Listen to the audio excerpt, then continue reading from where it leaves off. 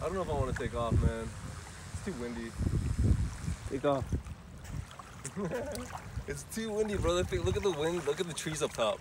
Take off that way. Huh? Take off that way. That's into the wind.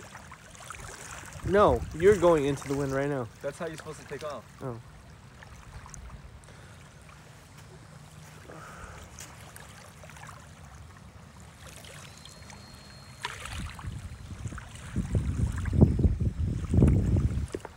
It's so sick.